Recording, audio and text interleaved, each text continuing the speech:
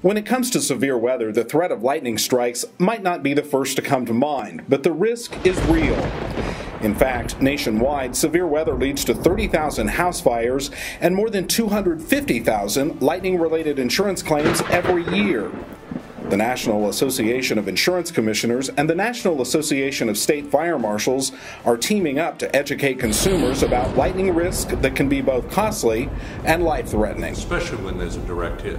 But there's an additional danger for some 6 to 9 million homes built or remodeled since 1990. And that's why we're here today, to deliver this warning to consumers unaware of that additional danger.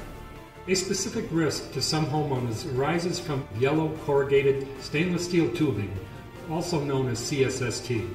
Yellow CSST is a flexible steel gas piping system used to deliver natural or propane gas throughout homes and businesses.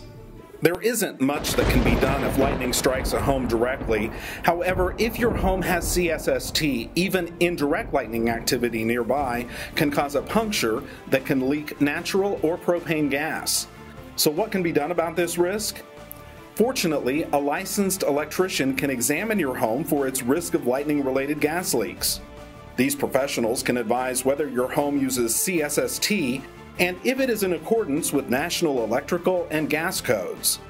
Finally, they can recommend whether your home's gas piping system should be bonded to reduce the risk associated with indirect lightning activity. For more information, visit csstsafety.com.